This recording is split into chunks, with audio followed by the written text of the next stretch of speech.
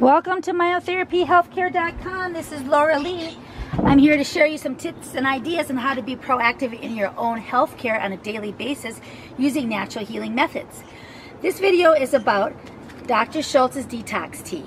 Now he is a nutritional herbalist and an ND, also a natural doctor, and he put together this formula and it's a wonderful thing to detox your whole system. I'm going to go ahead and read this, what came with the tea, so then you can go ahead and understand how valuable this is. And then you can go to drschultz.com or herbdoc.com and order some detox tea for yourself, or you can make it yourself. Dr. Schulze is more than welcome to share his information far and wide because he does have an idea on to help AMA be accountable for themselves. They're great at emergencies, but the rest of it, it's a lot of collateral damage around using drugs and surgery as a health idea. Anyway, the detox tea is one of the things that we natural healers do is we get rid of the toxins and put in nutrition and then see where we're at from there. So, detoxification tea, digestive detoxification, detoxifying and cleansing tea. Dandelion root, burdock root, cardamom seed, ginger root, pau d'arco bark, clove bud, fennel seed, licorice root, juniper berries, black peppercorns, Urva ursa leaf, horsetail herb, parsley root, orange peel, and cinnamon bark. You can see that's a heck of a combination of herbs. This tea has numerous health effects.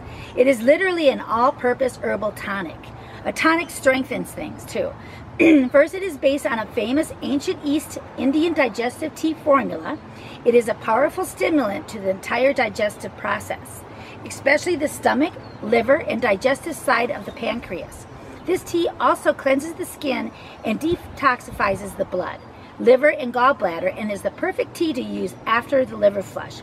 The liver flush, as a side note, is something that you can do with the things that you have at home just to flush out your liver. I'll, I have that in another video. So does Dr. Schulze. It's after the liver flush. It stimulates your liver to produce more bile and then flushes away the bile and fats that congest your liver and gallbladder. It is an immune system tonic and also a mild diuretic and disinfectant to the kidneys and bladder that will cause you to urinate more within an hour after ingestion.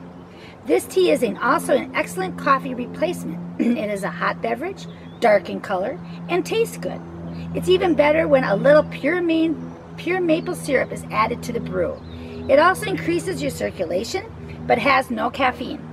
It is a great solution to help people kick the coffee habit because it is a bad habit, very hard on your adrenal glands and other systems too. I explained that in another video too. Metabolic action and botanical chemistry.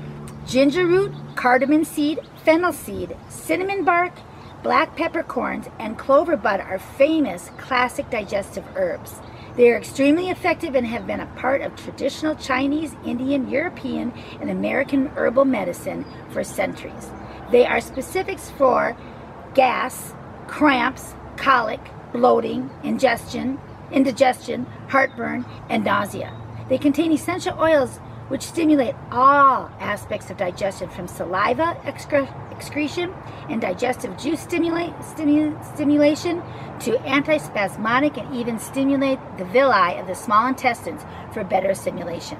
Villi, these little hair-like things that pull in the nutrition strain out the water. Cardamom seeds roasted in your small intestines. Cardamom seeds, roasted dandelion root, burdock root, and orange peel all stimulate the liver to excrete more bile. While cardamom has essential oils that cause this liver action, the three later herbs all contain bitter liver stimulation and phytochemicals. Dandelion and burdock also stimulate the kidneys to excrete more urine along with horsetail herb and parsley root. Juniper berries and Urva ursa leaf are also diuretics and urinary tract disinfectants. They make you urinate more and destroy urinary infections. Pau d'arco, inner bark, is a classic South American immune stimulant, and licorice root is soothing and healing to the lining of the entire digestive tract.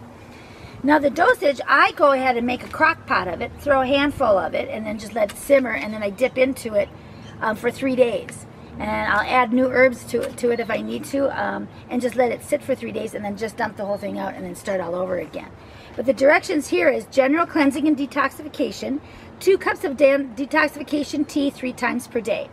Put six tablespoons of detox tea into 60 ounces of distilled water. Distilled water, because it's empty molecule, it'll pull the phytochemicals out of the herb into the water and you drink it. Be sure to use only stainless steel or glass cookware because you don't want any of that stuff in your water. Any of that fancy toxic stuff that's in pans. Let the tea sit in the water overnight. In the morning, heat up up to a boil. Not not don't boil it, just up to a boil. Then reduce heat and let simmer for 15 minutes. Strain the herbs, do not discard them.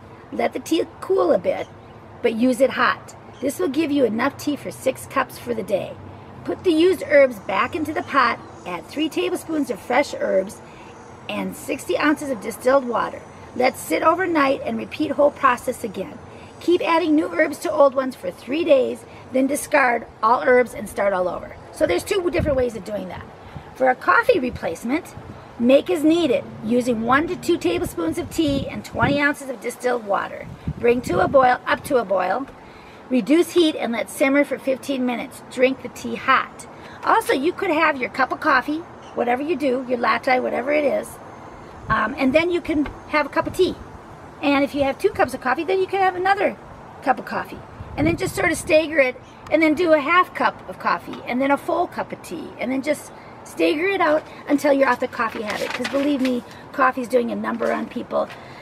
There's a chemical in a lot of the coffees uh, that really does a number on people and it's really bad. It makes you not right in the head and you, it's not good for you.